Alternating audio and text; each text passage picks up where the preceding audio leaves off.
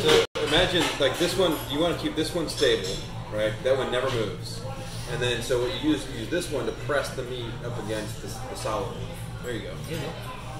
There you go. Jam it in your mouth. Nice.